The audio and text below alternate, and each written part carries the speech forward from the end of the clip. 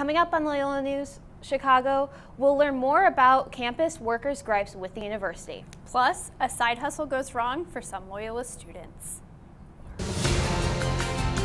From the Convergence Studio in the School of Communication, this is Loyola News Chicago.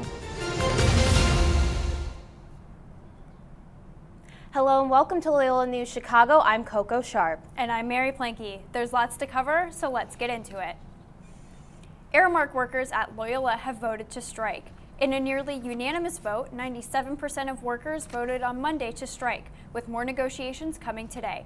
A committee member of Loyola's Graduate Student Union explains what all kinds of workers at the university have been pushing for.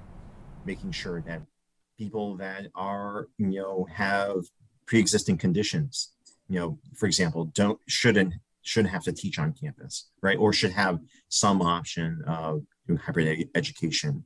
Um, we've advocated for um, you know making sure that there's still contact tracing on campus. That's something that recently that we've been pushing for as well, which re- has recently dropped off, right? Um, so we have pushed for maintaining masks on campus. Last week, the Students for Affordable Education released a report alleging the average Aramark worker at Loyola makes just over $17,000 a year. We'll keep you updated on the Aramark workers strike and have another story on graduate student workers next week. People using public transit will still be required to wear masks for another couple weeks. The CDC announced yesterday the transportation mask mandate will be extended until May 3rd. The mandate applies to all public transportation from the L to buses, regional trains, taxis, ride shares, and planes regardless of vaccination status.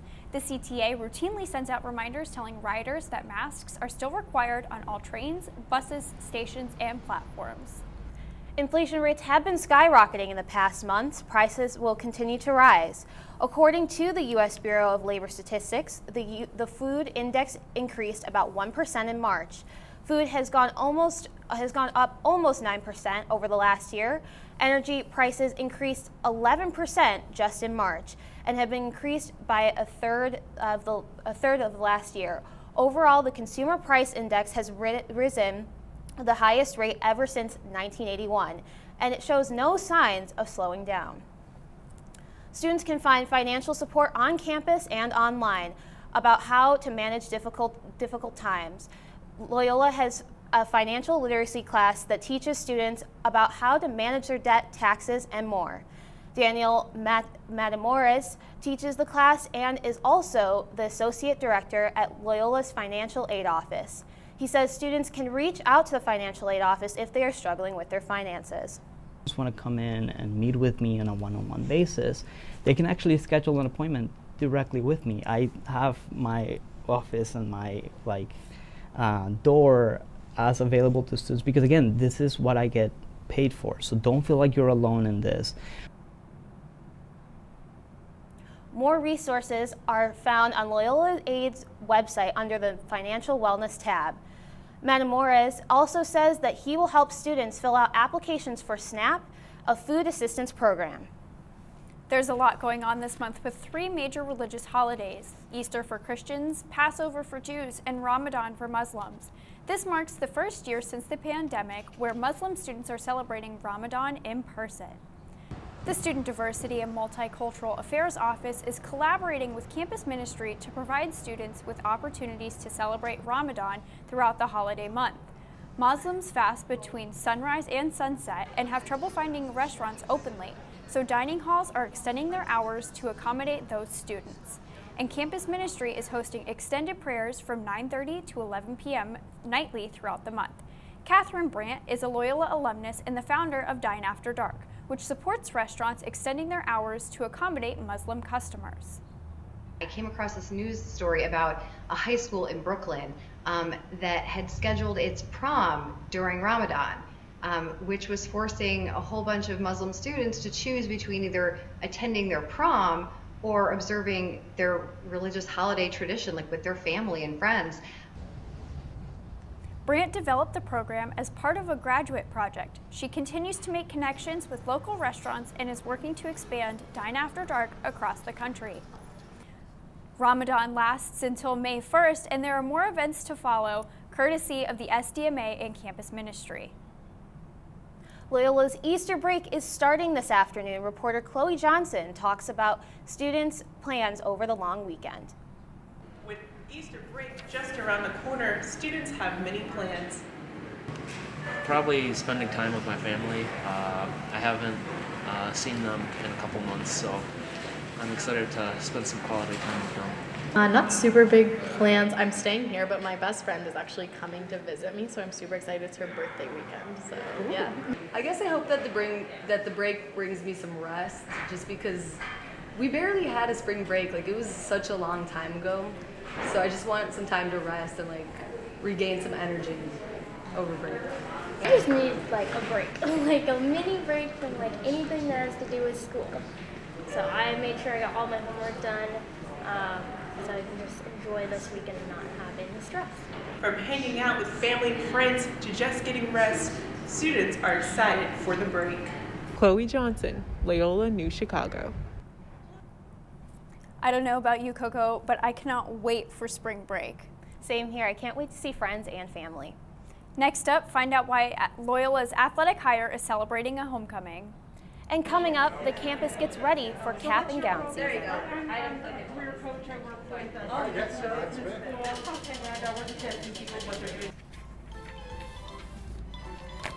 Netflix and chill.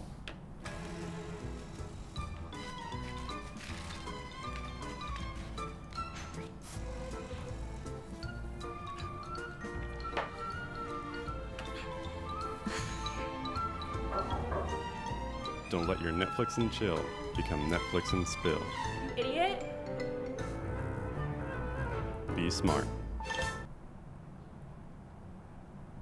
Changes are on the way for Loyola women's basketball program. Three weeks after coach Kate Achter's contract was no longer extended to Loyola Athletics was selected selected the next head coach for the team. Amelia Ickes has more on the Arlington Heights native who will be making her return to Loyola. Athletics introduced the newest head coach of the women's basketball program at a press conference at the Alfie Norville practice facility this Monday. Prior to introducing the coach, athletic director Steve Watson thanked Kate Achter and her staff.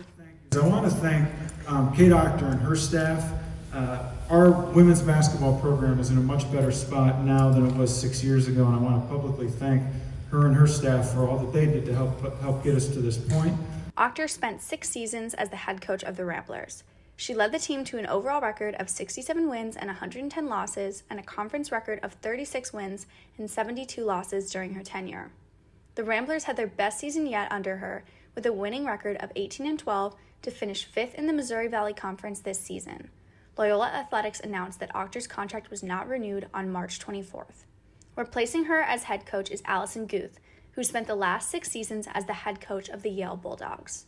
Guth racked up 99 victories and led her team to five consecutive winning seasons while at Yale. She also got her coaching start at Loyola in 2005 as an assistant coach. Guth has also been an assistant coach at Missouri, DePaul, and Northwestern. Guth spoke to the values that guide her coaching philosophy at the press conference.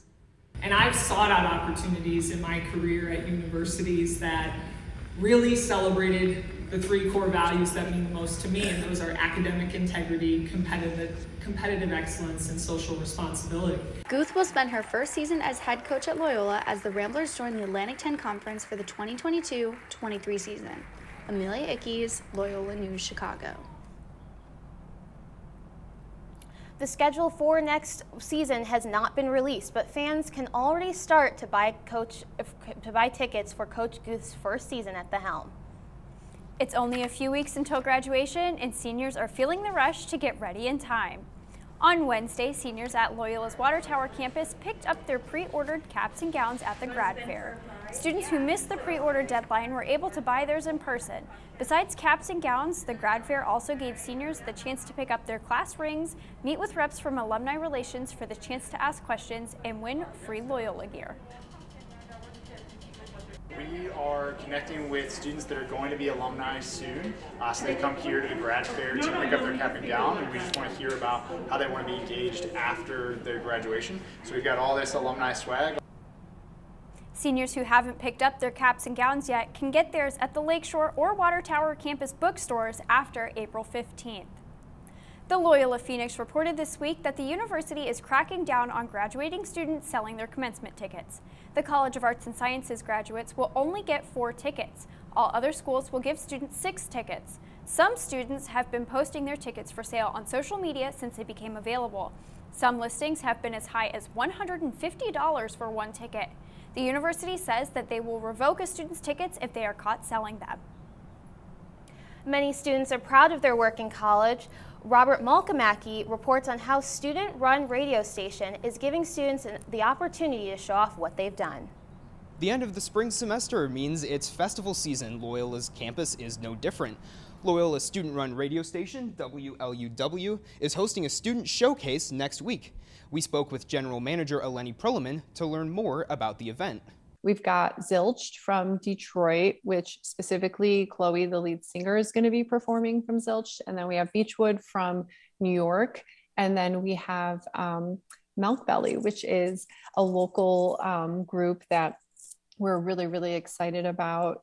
Um, they recently performed at Riot Fest. And, you know, it's just really cool to have such an awesome band playing um, at this show. Any student that wants to go can just show up that day with their Loyola ID and um, they can purchase a wristband. Um, it's not really, we're purchasing, we're selling tickets, but it's more like a $5 donation. The showcase will take place in Ireland's Pub on the Lakeshore campus. It'll be from 6 to 10 on next Thursday, April the 28th. Robert Malkamaki, Loyola News, Chicago.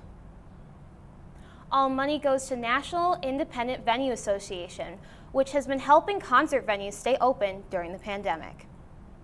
If you're a true crime fan, you could get paid up to $2,400 by watching a 24-hour true crime show marathon. The documentary streaming service Magellan TV is looking for one person to take on the 24-hour marathon and live tweet about it on social media. The marathon will include shows from Murder Maps, Behind Bars, and Murder on the Internet. Even though it's a 24-hour marathon, the person chosen for the job will have 48 hours to complete it. The winner will also get a one-year membership plan for the streaming site. To apply, head on over to Magellan TV's website, enter your social media information and why you like the genre of true crime. I don't know about you, Coco, but that sounds fun, and I'm sure there's going to be a lot of people fighting for that position. Oh, I definitely agree. That's all the news we have for today. Thanks for joining us. Join us next time for Loyola News Chicago.